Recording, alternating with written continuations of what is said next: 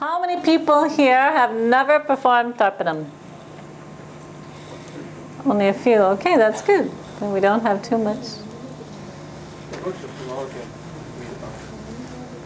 Yes, now for all of you who would like to know more about Tarpanam, if you haven't already seen our video on our blog, uh, we have a video where I walk you through step by step through the Tarpanam practice that Dr. Pillai recommends. Today, as I mentioned, we're going to be uh, performing another version of Tarpanam with grace light added to it. Again, that is my personal practice. I do it every day, and it's something that I've found very beautiful and very beneficial, and it helps me to have a deep connection with my ancestors. So I'll teach you that practice today. In your daily practice, you can definitely choose to do the version that Dr. Pillai teaches. If you feel so compelled to give grace light to your ancestors every day during Tarpanam, you can choose to do so. It's totally optional, and as you feel, whatever connects with you. So um, let me just cover the basic elements of Tarpanam again. Now, as I mentioned earlier, the Tarpanam practice is very powerful on a new moon day. On a new moon day, your ancestors, the souls of your ancestors that are on the earth plane already, as Dr. Pillai has said, most souls are not able to transit out of the earth plane. In fact, well over 90% of souls are actually trapped on the earth plane. And the souls of your ancestors are gathered very close around you, particularly on a new moon day.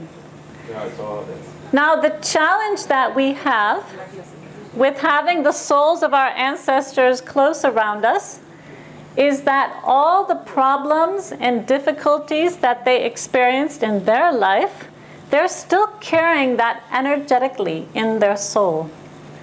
So they may be transferring to you their own thoughts, their own attitudes, their own experiences of negativity. In fact, for some of you, some of your thoughts may not be your thoughts. They may be coming directly from your ancestors. And their uh, health problems may be affecting you.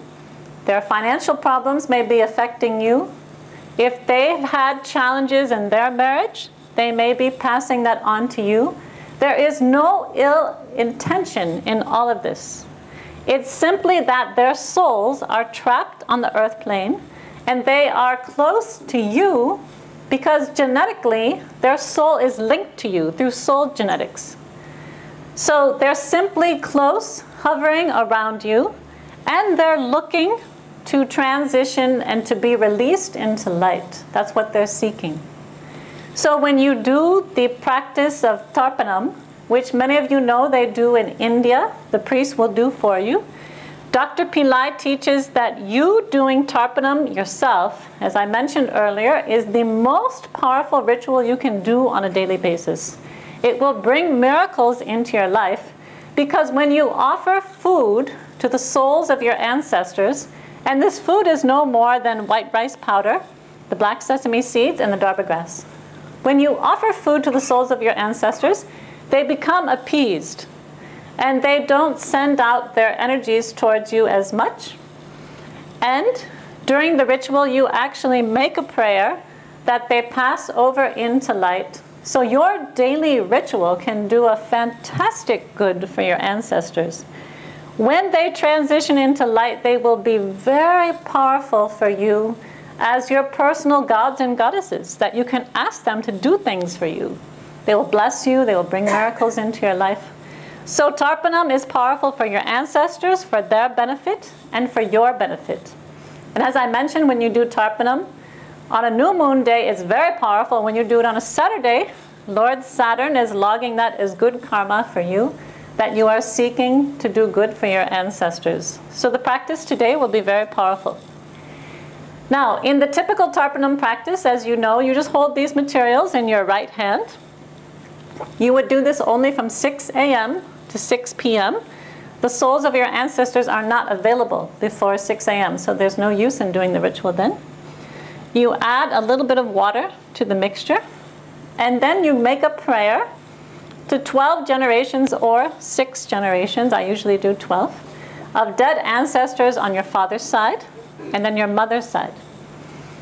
And then uh, you wait for them energetically to come, and many people can feel the ancestors actually uh, nibbling or a light energy of uh, tickling their palm, and many people have that sensation.